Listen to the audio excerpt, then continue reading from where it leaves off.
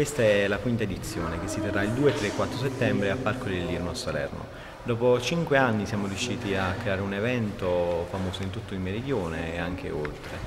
Le varie attività sia a scopo fumettistico, del videogioco, del fumetto, come i workshop o l'intrattenimento, i concerti grossi nomi, quest'anno di cui tre stranieri anche, hanno portato Fantexpo a diventare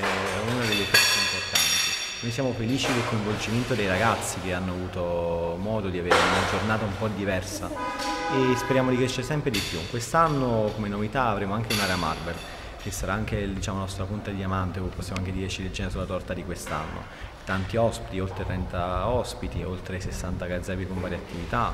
un'area per i ragazzi migliorata anche per i bambini, spettacoli e conferenze sia a livello formativo che professionale e anche la gara cosplay che è lo spettacolo finale di domenica dove si chiuderà anche col concerto dei Jamboy che prevederà il vincitore come nostro delegato a Nagoya in Giappone al VCS. La possibilità di Salerno di organizzarsi così come siete organizzati per creare momenti come questi che è la manifestazione ma in particolar modo di lavoro che l'amministrazione comunale mette a disposizione per la quinta edizione ma c'è qualcosa in più insomma che abbiamo fatto in quest'anno noi abbiamo dato la possibilità all'associazione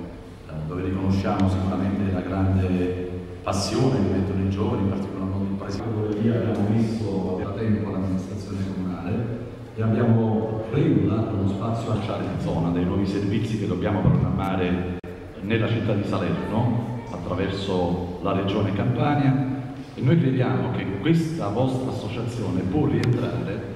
per far crescere e potenziare ancora di più quelli che sono i servizi